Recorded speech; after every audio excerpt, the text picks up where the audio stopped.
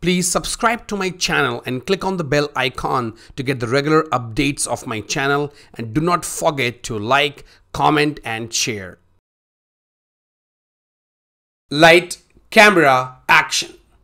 This is what I say when I record my every video. Hello everyone, welcome back to SaaS with ServiceNow. This is my first video of my new series that is Talk Now. In this series, I will be talking about different topics in ServiceNow platform.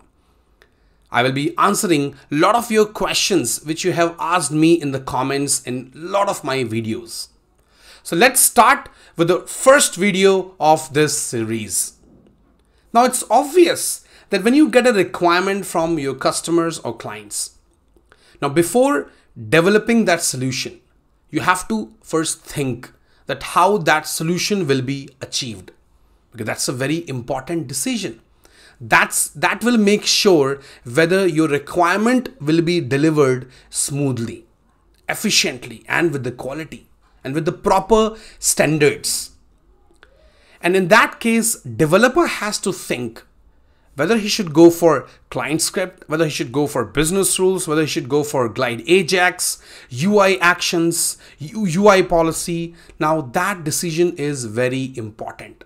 Now in this video, I'm going to help you that how exactly you can decide that what you should select or what element you should select to deliver a requirement in ServiceNow.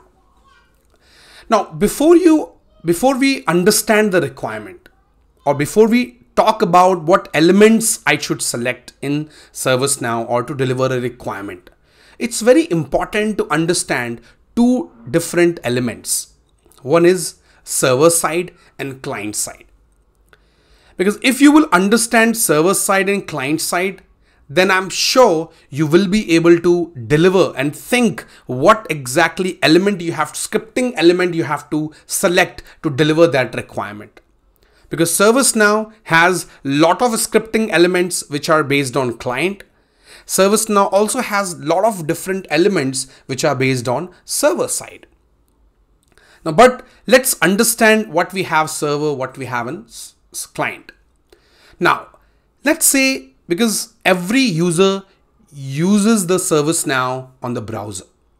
ServiceNow opens the browser, opens the client, and that becomes the client. So your browser is the client where user can take different actions. User can click on submit button, user can click somewhere, you can user can change the field. All those actions basically happens on client. That's on the browser. So whatever actions you take on the browser, user takes on the browser, that is a client side basically. And if you have to do some kind of database query, you have to uh, do some uh, calculations in the database, you have to fetch some data from the database, from different records, from different tables, that becomes server side because that's a server side code that's a server side processing which will happen to fetch the data. If something i have to get the data from the database. That basically becomes the server side. So these are the two different elements client side and then server side. Now ServiceNow already provides different elements as I mentioned. In client side, we have client script, UI policy. We also have basically Glide Ajax it is definitely you fetch the data from server, but you put it on the client. In, in client side, you also have UI actions, but UI actions uh, uses both client and server. It is basically both. But if I talk about server, you have business rules, you have script includes, you have um, uh, I think uh, uh, flows as well. If I talk about flow designer, flow designer is also uh, a server side. All those server actions you take with flow designer, they are all uh, server side because that's what you do. Now, how exactly you will decide? So now when you get the requirement, so let's say requirement is customer is looking for a button. And when you click that button, it should show some uh, message on the screen. But that message should come if uh, uh, if uh, uh, priority is uh, P1. That's a that's a that's a, basically use case or that's one of the requirement you get. So if the incident stay priority is P1 and if customer clicks that button then customer should see a pop-up. Maybe it's just for validation whether it's a P1 or not. Now this is definitely a client side. So you have to think, okay, user will see this pop up on the client. Action will also be on the client. But the only thing which user will get, it's I think the data which is already on the client as well, because you already have that value on the client. So you don't have to use server side at all in this case, because when form is getting loaded, you have all that data in the client itself in the browser on the screen. So in that case, you won't use any kind of server side. It's all client. But now when, okay, so we have sorted out this one that it is overall client. But now what next? That how should I go for? Should I use UI policy or should I create a client script? Now the important point here is you have to create a pop-up. And if I click on that button, so or do I need to create a UI action? Now we are talking about a button here.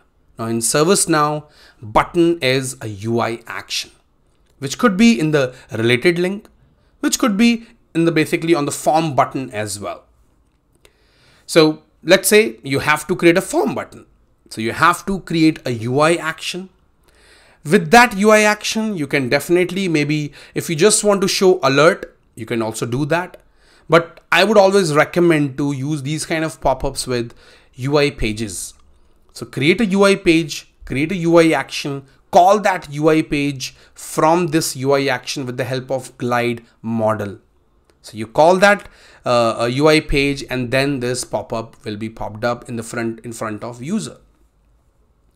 Now let's say, uh, let's talk about another use case in which if I open a form and we have a caller field on the incident form. And if that caller is a VIP user, then I should see a message on the top of the form. How will you do this? Because I can't see, because I just see the user ID of the user in that field. So I can get that data, but I can't get whether that user is VIP or not. Now, in this case, server side script comes into the picture. Why? Because we already have a user table which stores all the information about user. So in that case, what you will do? You have to fetch the data whether that user is VIP or not. So there is a field which is called as VIP.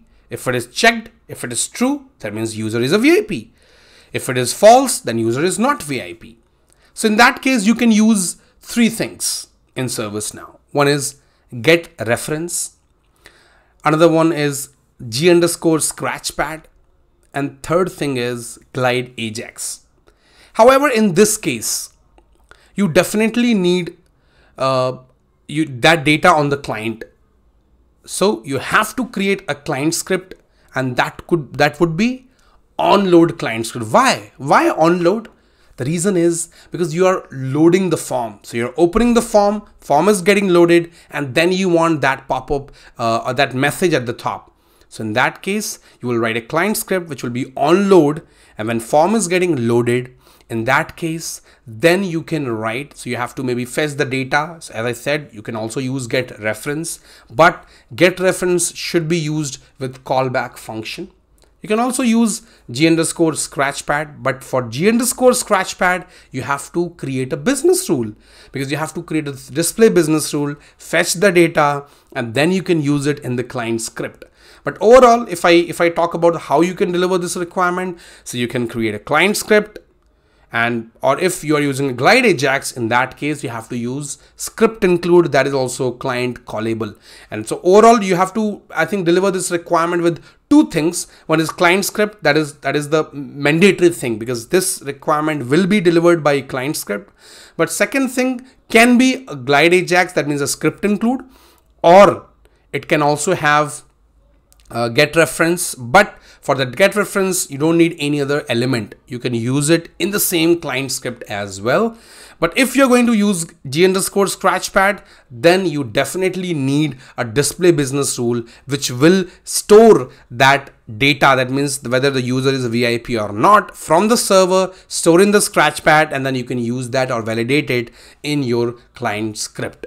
So mm, I would say maximum two scripting elements which, which uh, will be used and minimum one that is client script which is the mandatory in this kind of requirement. Now you could have let's say you have a different requirement in which uh, you have to uh, create some uh, uh incident task. So let's say in, when incident is created or maybe that incident is assigned to a network team. In that case you have to you have a requirement in which you have to create two incident tasks automatically. Nobody would do it and manually. It would be done automatically. Now you have to think again that how this requirement can be delivered. Is it the client? Is user doing something on client? No. You, in this case you are doing everything on server. You create the incident which is definitely uh, in, in the database. You, you create the record. Once record is created then you create two incident task and that is again server. Because you are inserting a data into a table. That's it. So client is not at all in the picture. Because I, am not populating anything. I'm not in this requirement you don't have to populate anything uh, to the user on the client. If you will create it it will automatically show in the related list. So in this case this is purely server side. First thing. So now we have that understanding. We have to go only with server side type of scripting. Not at all ui action no. Uh, because there's no button so we don't have to use ui action. We will not use client script. We will not use ui policy. What we will use? Business rule. Now this can be achieved with business rule or flow designer as well. So you can create a business rule on insert or even you can do async as well. So when in, when incident is inserted then you can create uh, incident two incident tasks which are basically assigned to some teams that you can mention in your script. So minimum you have to create a business rule or if you want to go with flow designer that is also really easy. You don't have to write any script. In flow designer you can also mention event will be when record incident is inserted with a condition and then in that action you can mention create records and then you can create two different records in the flow designer. Now, whole requirement is delivered with business basically server side scripting i would say but flow designer is not at all uh, uh, not at all scripting because you can do it uh, with, without coding and that's a powerful feature we have in flow designer so that's how you can decide what element you should select while developing a solution in ServiceNow as a developer or ServiceNow administrator. So I hope you like this video. Please do subscribe my channel and share my videos and please put the comments for any question you have. I will definitely answer those questions in this series. Thank you and have a great day.